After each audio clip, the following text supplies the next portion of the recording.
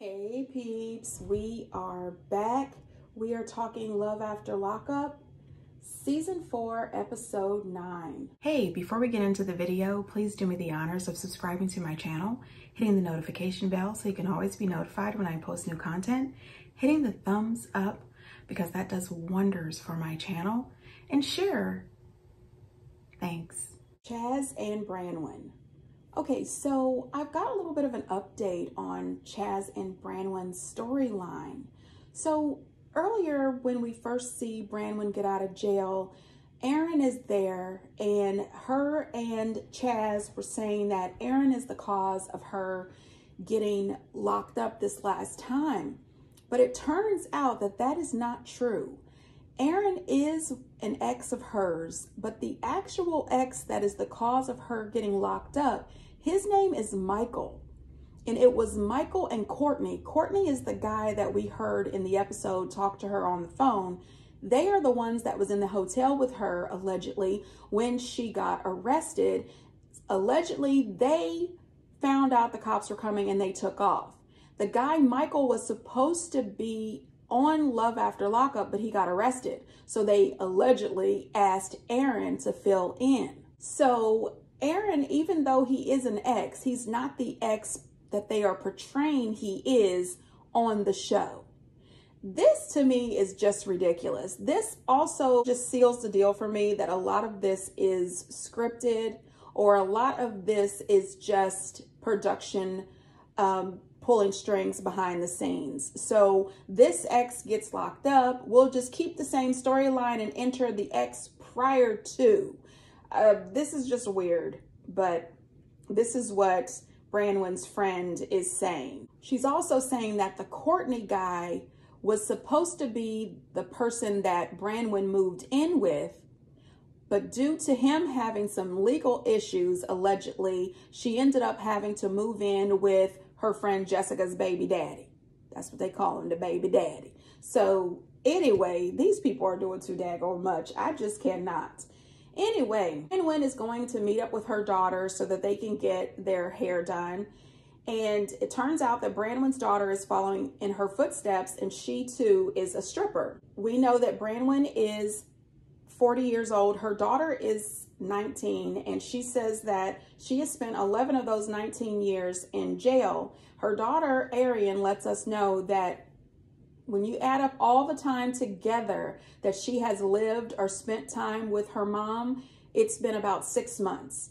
That was total heartbreak for me as a mom. I can tell you one thing that I know that they both have in common. They both love big eyelashes. I just can't stand it. It's almost as if they have caterpillars just hanging off the lids. I, I just, I hate it. Her daughter does not find Chaz attractive. She says he is not the type of man her mom usually dates. She usually dates more young, muscular, attractive men. And you know what I'd like to say to her daughter? Those young, attractive, muscular men uh, don't seem to be the thing for your mama. They all seem to have some sort of alleged drug problem and they all end up in and out of jail. Her daddy, for, for instance, Branwen says that he's been in and out of jail her whole life as well, and she's just been moved around from family member to family member. Also, can I just say all of that cleavage was a way too damn much for me. I was not a fan, and I really did not appreciate how she sat in the middle of the car with all that cleavage hanging out and her legs spread open.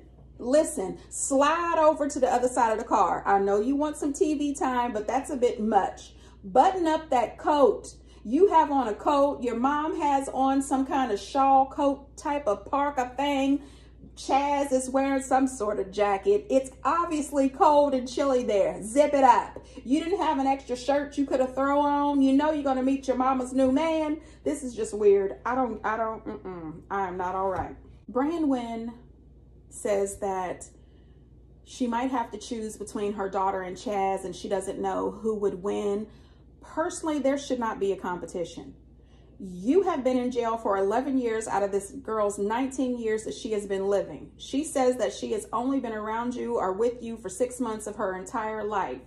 there should be no Chaz as far as I'm concerned. When you got out of jail, you should have moved in with Jessica's baby daddy, got yourself a job and some therapy for both you and your daughter. And then maybe you and her could have gotten together and moved to a whole nother state and started life anew. Thinking about a man should be the last thing on your list. You should be focused on figuring out how you and your daughter can heal and move forward. Put your children first. I think that Chaz should try to make better decisions. Um, there has been a lot of red flags with this relationship with Branwen and a lot of red flags with Chaz. Chaz seems to be extremely insecure and too needy. They have not consummated this marriage. She is talking about seeing if she can get her 19 year old daughter to move down to Kentucky with them. And I'm just not sure that this is going to be a good mix a brand new, just got out of jail marriage, a teenage daughter. None of this seems right for me. I don't think this couple is going to make it. Not to mention, last episode, she did tell production that she is still in love with Aaron. Then they show Chaz paying for both of them to get their hair done. And let me just tell you, I didn't see much of a difference with Arian's hair. And the difference that I did see with Branwen's hair, it, it wasn't that gorgeous. It really wasn't. The man paid almost $600 for the two of them to get their hair done. This is a hell to the no. I mean, are you kidding me? You should have went down to Supercuts. I mean, what in Sam hell? No, ma'am. Anyway, after that, they go for a little dinner because you know she has to be in the house by 6 o'clock. So they're probably eating dinner at 4 p.m. Anyway, they go out for dinner and Chaz's credit card declines. Well, the daughter says, well, I was working last night and I've got all these tens. And then she makes this comment that he can't even afford dinner. How's he going to take care of my mom? Didn't he just afford $600 so that you and your mom could get your hair done? The least you and your mama could do is pay for dinner. I mean, seriously, some people are really ungrateful as hell. Now let's get to Chaz. Chaz is very insecure, very jealous and needy. She is on the phone talking to this Courtney dude and Chaz, who is that? He's asking questions. I mean, she's on speakerphone. He was staring her dead in the face while she's having this conversation. I said, wait a minute, this is speakerphone. You don't have to look down her throat to hear the conversation. Mind your business and eat your sandwich. Then she tells the guy that she loves him, and Chaz says, I love you too. I, excuse me? He's also screaming, you got married, you got married. You know, he wants her to let this man know that she is married you are doing too much. But then she gets a little angry with him and says that she's not used to, you know, having to answer questions regarding her friend. Personally, I think that she is protesting too much. I think that Branwen is hiding a lot. Her and her daughter's actions are throwing up major red flags. And Chaz, listen, save your money and get a therapist. This is too much. Anyway, you guys, we'll see what happens with this couple. Indy and Harry. So Indy is at home with her daughter. They're playing, having a good time. Harry is not there. She hasn't seen him for a couple of days, and her mom, Yolanda, pops up. Let me just say that I love Yolanda, and I think that she deserves her own bounty hunter show. We TV, pay attention. This could be ratings gold. He shows up, and Andy wants to know, what are you doing popping up here? Now, every mom knows. You can tell when your child is going through something. As soon as you hear their voice, you know if it's all good or if something is wrong. And Indy didn't want to share with her mom what was going on, so her mom took that long five or six hour drive and popped up. But that's what moms do. Indy finally lets her mom know that Harry has been spending days away. And her mom says, that sounds femaleish to me. And I said, you know what, Yolanda, it does not take a private investigator bounty hunter to figure that out, right? Her mom tells her to get Harry on the phone. She wants to talk to Harry. So Indy, of course, calls Harry and tells him that she's going to come and pick him up. He tells her that he's at his sister Carla's house.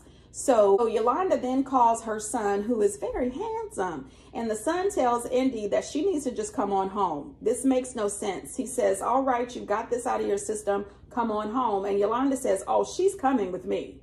Me, myself, I would not have wasted time talking to Harry. I would have came to the house and just immediately started packing her and my granddaughter's items and then forcefully threw both of them in the car. We are out. Okay? I would leave a note for Lydia and some cash. Thank you so much for your hospitality. We are out. Uh, no. Mm-mm. Yolanda told Indy that they need to have a spiritual divorce party, okay? Oh. What's up? Andy was crazy for coming out here. And Terry stupid too. Everybody involved, stupid. Just dumb. And your ass went in at 17 and you coming out still 17. Get out. Get the out. Yolanda is after my heart. I absolutely love that this woman cut right to the chase. I love that she let him know that everybody involved is stupid and dumb. Terry, Indy, him, and that he is 17. He went into jail as a 17 year old teenager and he came out of jail 24, but still the mentality of a teenager. But I also need Yolanda to keep that same energy with Indy because Indy is 29 years old, but she's acting as if she's also 17. She also called Harry out for telling Indy that Terry is better than her, that Terry has X, Y, and Z, and Indy doesn't have anything. You know, that was really disgusting for Harry to say that to Indy because Indy did have a job in an apartment that she left to come be with Harry, who has absolutely nothing. That was Indy's mistake.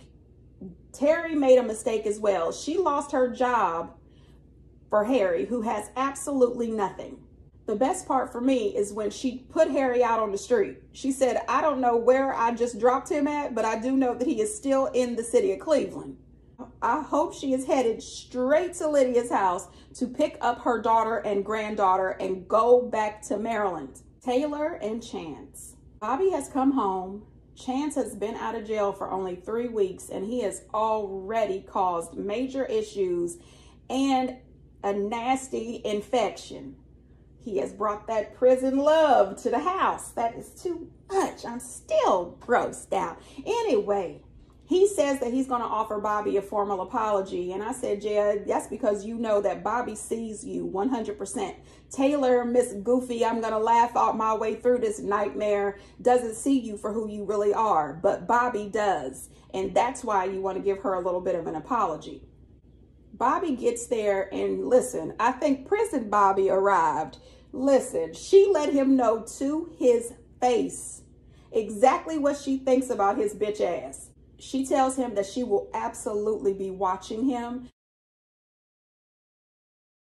because she loves her sister and she loves those girls and she is not going to allow him to come into their home and take over or hurt them.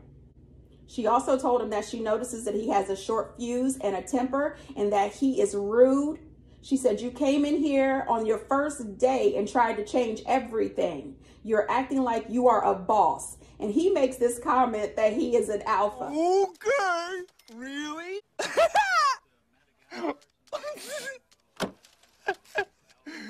no. No. No. Uh, no. You are not an alpha. You don't have anything. Uh, real alphas know how to dominate. They know how to lead. They know how to provide. Uh, no, you don't have shit. You are not an alpha. You're not even a beta. Okay? You're a zero, you know, I don't know. Buddy, no, I'm sorry, you don't have shit. So you cannot be an alpha. Then he has the nerve to ask Bobby for his blessing to marry Taylor. Bobby tells him it's too soon. She says Taylor doesn't really know you. You don't really know her. She tells him that if he really does mean it, he can go ahead and ask her sister. However, if he hurts her sister, there is going to be a problem. She also told him that she will be watching and the first time that he does anything ridiculous, gets loud, blows up temper or anything, she said, I will shut this wedding down. Honey, now listen, uh, Bobby is not here for this. You tried it, Chance, and I think you really met your match this time. Also, I think that Brad Pitt should sue Chance or at least get a cease and desist. I do not believe that Brad Pitt and Chance are family members. I don't buy it. And even if so, please stop playing with Brad Pitt's good name. I mean, listen, I am a, well, not now, but I was a die-hard fan of Brad Pitt. Let me tell you, it was The Legend of the Fall, The Interview with the Vampire, The Meet Joe Black Brad Pitt. Lord, I wanted to get at man children. I'm just saying, chance gone somewhere. Do not try to soil Brad Pitt's name. Lacey and Antoine. Honey, now listen, this couple is just ridiculous. She meets up with her sister and her sister wants to meet Antoine, of course. She's telling her sister how he came home from jail and all he does is complain and he is so ungrateful. And then in the next breath, he's the man of her dreams. I said, well, damn it. Your dreams and my nightmares are totally the same thing. You know, listen, this man is nobody's dream. Listen, get down in the comments, peeps. Is Antoine the man of your dreams? Do you do you want him? Because to me, he is an absolute nightmare. I'd rather have Freddy Krueger as my. This is it, Jennifer. Your big breaking TV. Welcome to prime time, bitch. And I mean, at least he's got a sense of humor. He shows up for dinner with a new face tattoo. I said, boy, you need a new face tattoo like you need a hole in your head. Actually, there could be a hole in his head. He's an idiot. Um, she says that she is really upset about this tattoo. She has asked him not to get any more tattoos on his face. And I said, oh, but no, he's the man of your dreams, okay? Then she mentions to him that she has been telling him for months not to get another face tattoo because it's already going to be hard for him to get a job considering that he's a felon. But now adding more face tattoos, it is going to be rough. And I would have to agree, you know, at my old career, I used to hire people. Even though it's not right, people do look at stuff like that. If you're willing to put tattoos all across your face, what else are you willing to do? On top of the face tattoos, you've got this criminal record you like to steal. Uh, no, I thank you for your application. Uh, we'll get back to you. Her sister asked him, where does he see him and Lacey in five years? And he said he didn't have a vision of that and that he didn't have any goals. Okay, the man of my dreams has goals. Um, the man of my nightmares, he doesn't have any goals. What? This dude is incredibly immature. He has never known responsibility. He has always lived with his mom. He has never owned anything. Nothing has ever been in his name. He is talking to his ex-girlfriends. Lacey, you left a stable marriage of 20 years for this, the man of your dreams, with the face tattoos and the bad haircuts. Lacey's sister told him the truth. She said, look, the world doesn't owe you anything you should absolutely be grateful to my sister that she loves you and she's willing to take care of you. He doesn't care. I guess having her sister by gave her a little bit of courage because all of a sudden she wants to put down the rules. She tells him that she doesn't want to be in a relationship with somebody that just take, take, take. She's trying to have a relationship with somebody who wants to provide, give, share, create, and build. She says that she's not here for driving him around, dropping him off, and taking care of all of his needs and putting everything in her name. Well, if that is the case, then you need to drop his things off at his mama's house. He's been out of jail for four or five days or whatever, and he's not out looking for employment. He's out spending his stimulus money on a new face tattoo, booze, and weed. Um, girl, please give him to his mama because he is for the streets. She goes on to let him know that she has been taking care of him. She has been putting money on his books. And how dare he go spend his money on some cheesy, ugly tattoo? Now, that's where I have to agree. You don't have to put a WA for Washington on your face. Uh, you know you from Washington, right? Oh, I cannot. Anyway, she tells him that she's sure that she can find somebody else and I said, well, I'm questioning that. If you are positive that you can find somebody else, how did you end up with this dude in the first place? I don't know. And remember, this is the man of your dreams. He tells her, uh, let him know how that works out, finding somebody else. Honey, like I said, pack up his shit and drop it off at his mama's house. Get your locks changed and a new security code. Um, he's got to go. This relationship is not going to work. Then we see him go visit his mom and she's trying to hug him and hold on to him and kiss him and everything and he's trying to it was almost like watching a wrestling match. He's trying to get away from her. He's not used to that mother son love i guess. That was a little bit sad. But we also find out that she has stage four cirrhosis of the liver. I said damn she has to stay sober for six months in order to get on the transplant list and he says that he's not sure his mom can stay sober for six months. I tell you what, if that had been my mom, I would have grabbed my phone and tried to find a rehab place that I could put her in. At least one of the ones for 90 days to see if I can help her get sober because you can't get on the transplant list for six months. And Lord knows if this woman can stay sober. I just don't know. He tells his mom that she's got to stop getting drunk and she's definitely got to stop getting drunk and then telling Lacey everything because it upsets their relationship. And she says that she wants him and Lacey to work out. But then she tells him that a bunch of his ex-girlfriends have been calling her. And I said, yeah, if you really wanted him and Lacey to work out, you wouldn't mention the ex-girlfriends. And he says that he's been talking to some of them. But Lacey doesn't need to know that. I think Lacey does know that. And she just is trying to act blind to the situation. Lacey, it's time for you to put your big girl panties on and get rid of this child. Send him back to his mama's house. Rick and Radine. Yuck mouth. Call me Yuck Mouth, cause I don't brush. Oh, I like my teeth like this, baby. Is out at this biker shop with Rick and she wants to buy this motorcycle leather jacket that's a little bit over $600 and Rick says she's a Gucci chick. Uh, no, uh, no, no, she's not. Um, she is a Walmart chick. Okay, she is a thrift store chick. Uh, no, there is nothing about Snaggletooth that says she is a Gucci chick. Okay, she ends up getting a jacket that's like $250. Rick says that's still too much. He can't really afford it, but he buys it for her anyway. Then Rick takes her for a ride and Love After Lockup camera people, the editors are real shady. They zoom in on Rick's boots that are falling apart, like they are ripped and frayed. And I said, dude, your bike boots are absolutely about to fall off your feet. And you just spent $250 on Yuck Mouth. I mean, it's just too much. He wants to talk to her about their relationship. And he says, well, Kay is not going to be um, out of jail for several years.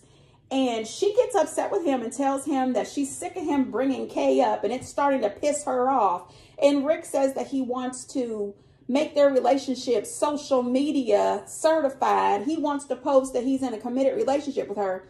And I said, now, Rick, you were in your 50s. What the hell are you talking about? You want a Facebook official committed relationship? What the shit?